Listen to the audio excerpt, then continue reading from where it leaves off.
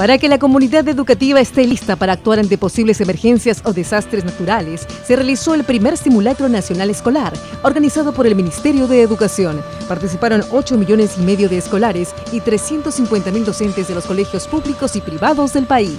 Todos tienen que estar involucrados porque con una cultura de prevención podremos reducir los riesgos ante cualquier evento adverso. El titular de Educación Jaime Saavedra Chandubí destacó la autonomía restricta de la cual gozan las universidades con la implementación de la ley universitaria universitaria y saludó el trabajo que viene realizando la Superintendencia Nacional de Educación Superior Universitaria, SUNEDU, para establecer condiciones mínimas de calidad educativa en los claustros universitarios. Los estudiantes de estas universidades tienen y tendrán la autonomía de crear, de innovar, de pensar, de discrepar con sus profesores y de discrepar con su rector. 60.000 docentes participaron en forma satisfactoria en los concursos de ascenso a la segunda escala magisterial y de acceso a cargos directivos en las direcciones regionales de educación y en las unidades de gestión educativa local. Algo muy importante porque es la primera vez de que hay un proceso de selección meritocrático para poder mejorar digamos, la capacidad de gestión.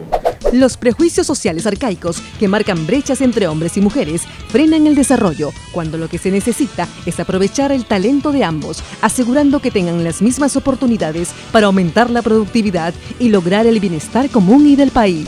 En el programa La Buena Educación se habló acerca del bullying, pero desde el lado del agresor. Por ello es importante recordar que los padres y maestros deben trabajar en conjunto para solucionar los problemas de comportamiento que puedan tener nuestros hijos en el colegio y en el hogar.